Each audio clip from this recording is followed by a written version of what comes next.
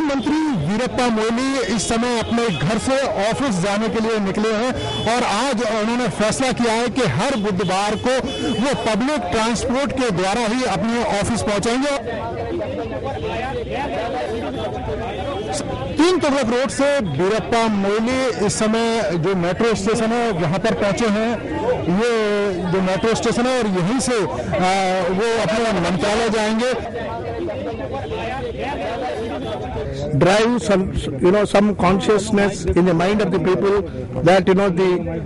uh, you know saving petroleum is saving India's energy and saving saving uh, the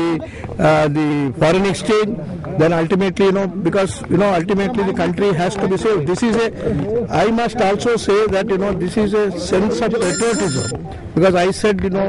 in many many places that ultimately the country has to become energy independent तीन Tughlaq road स्थित घर से